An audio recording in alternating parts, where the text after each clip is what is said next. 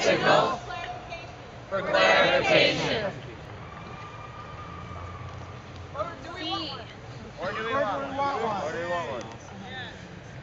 Would everybody appreciate a hand signal for clarification?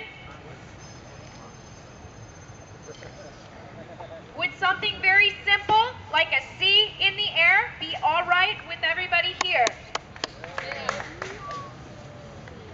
Okay, so let's using the